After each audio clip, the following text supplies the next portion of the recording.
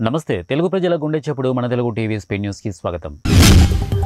Social media వేదికగా ఉద్యోగాల పేరిట సైబర్ నేరాలకు పాల్పడుతున్న ఇద్దరు అంతర్రాష్ట్ర నిందితులను రాజన్న సిరిసిల్ల జిల్లా పోలీసులు పట్టుకున్నారు. జిల్లా ఎస్పీ అఖిల్ మహాజన్ తెలిపిన వివరాల మేరకు శ్రీకాకుళం జిల్లాకు చెందిన సాలాది రామ్గోపాల్ కొరమిల్లి రాజ్కుమార్ అనే ఇద్దరు తూర్పుగోదావరి జిల్లా వేదికగా చేసుకుని సైబర్ నేరాలకు పాల్పడుతున్నారని వీరిద్దరిపై దేశవ్యాప్తంగా పదమూడు వందల యాభై ఒక్క కేసులు ఉన్నాయని తెలిపారు. సూర్యాపేట జిల్లా తుంగతుర్తిలో కాంగ్రెస్ నేతలను పోలీసులు అక్రమంగా అరెస్టు చేయడం అప్రజాస్వామికమని యువజన కాంగ్రెస్ నాయకులు పెద్దబోయిన అజయ్ కుమార్ అన్నారు. ఆదివారం జిల్లాలో సీఎం కేసీఆర్ పర్యటన నేపథ్యంలో కాంగ్రెస్ నాయకులను పోలీసులు ముందస్తుగా అరెస్టు చేశారు. ఈ సందర్భంగా ఆయన మాట్లాడుతూ పోలీసులు అక్రమంగా అరెస్టు చేయడం హేయమైన చర్య అని అన్నారు. హైదరాబాద్ నగర పరిధిలోని తిరుమలగిరి మున్సిపల్ కేంద్రంలోని చౌరస్తాలో రాజీవ్ గాంధీ జయంతి వేడుకలను కాంగ్రెస్ పార్టీ శ్రేణులు ఆదివారం ఘనంగా నిర్వహించారు. ఈ మేరకు ఆయన చిత్రపటానికి పూలమాలలు వేసి ఘన నివాళులు అర్పించారు. ఏలూరు జిల్లాలోని నూజివీడు నియోజకవర్గంలో ఈ నెల ఇరవై మూడవ తేదీన Nara Lokesh Yuvagalam పదయాత్ర ప్రారంభమవుతోందని Telugu Desam party Eluru parliamentary incharge Ganni Veeranjaneyulu తెలిపారు.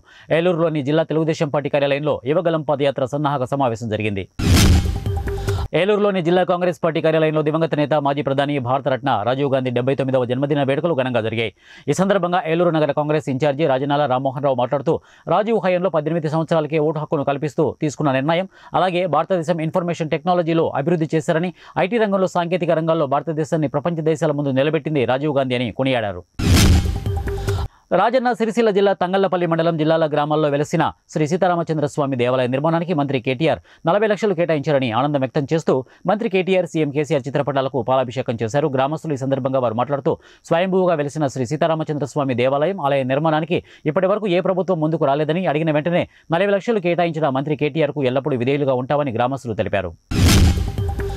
తెలంగాణ రాష్ట్ర కాంగ్రెస్ పార్టీ మాజీ మంత్రి నల్గొండ పార్లమెంటు సభ్యులు ఉత్తమ్ కుమార్ రెడ్డి కాంగ్రెస్ పార్టీని వెడుతున్నారని గత కొన్ని రోజులుగా కొన్ని మీడియా సంస్థలు సోషల్ మీడియా ద్వారా రేటింగ్ కోసం చేస్తున్న అసత్య ప్రచారాలకు తెరదించారు. ఉత్తమ్ కుమార్ రెడ్డి వచ్చే ఎన్నికల్లో తాను తన సతీమణి హుజూర్ నగర్ కోదాడ నియోజకవర్గాల నుండి కాంగ్రెస్ పార్టీ నుండి పోటీ చేస్తున్నామని ప్రకటించడంతో అసత్య ప్రచారాలు చేసిన మీడియా సంస్థలకు చెంపపెట్టులా మారిందని ఈ సందర్భంగా కాంగ్రెస్ నాయకుడు చర్చించుకుంటున్నారు.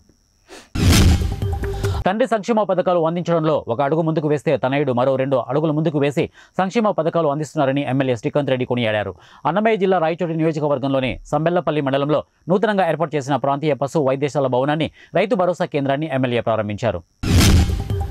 తెలుగుదేశం పార్టీ జాతీయ కార్యదర్శి నారా లోకేష్ యువగలం పదయాత్రలో భాగంగా ఈ నెల ఇరవై రెండున గన్నవరంలో భారీ బహిరంగ సభకు పెద్ద సంఖ్యలో కార్యకర్తలు అభిమానులు పాల్గొని విజయవంతం చేయాలని తెలుగుదేశం పార్టీ నాయకులు మాజీ మంత్రి నక్క ఆనందబాబు పిలుపునిచ్చారు.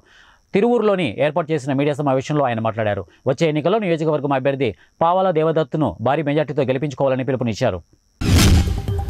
కర్నూలు నగరంలో నూతనంగా లలిత జ్యువెలర్స్ యాభై ఒకటవ షోరూమ్ను ప్రారంభించారు.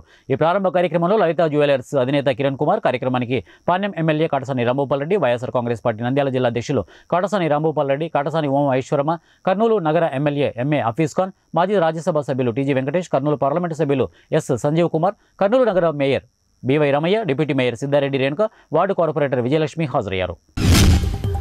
నగరంలో ప్రధాన కూడళ్ళలో అనాథ గృహాలు ఫౌండేషన్ పేర్లు చెప్పి వసూళ్ళకు పాల్పడుతున్న begging మాఫియాని south east zone task force Malakpet పోలీసులు అరెస్ట్ చేశారు.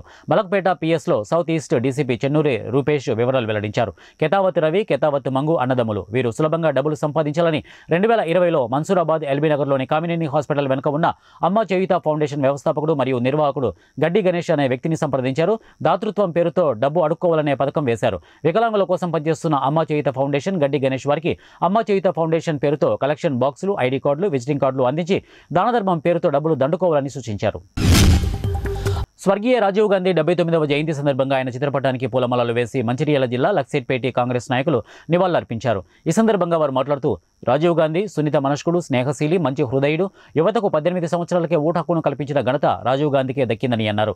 గ్రామ పంచాయతీలలోనూ బలోపేతం చేసింది మహిళలకు రిజర్వేషన్లు కల్పించింది సాంకేతిక విప్లవం తీసుకువచ్చింది రాజీవ్ గాంధీ అని తెలిపారు. జయశంకర్ భూపాలపల్లి జిల్లా భూపాలపల్లి మండలం దూదేకులపల్లి గ్రామంలో దారుణం చోటు చేసుకుంది. కన్నతండ్రిని చంపి మృతదేహాన్ని మూటకట్టి మూడు రోజుల పాటు ఇంట్లో దాచి ఉంచి ఈ రోజు ఉదయం గ్రామ సమీపంలోని ఊర చెరువులో పడేశాడు.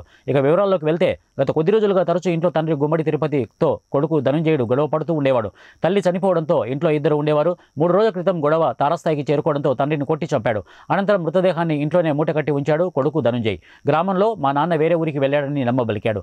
ఇంట్లో నుండి తీవ్ర దుర్వాసన రావడంతో ఈ రోజు ఉదయం తన తండ్రిని ఒక దుప్పటితో మూట కట్టుకొని స్కూటీపై తీసుకువెళ్ళి ఊరి చెరువులో పడేశాడు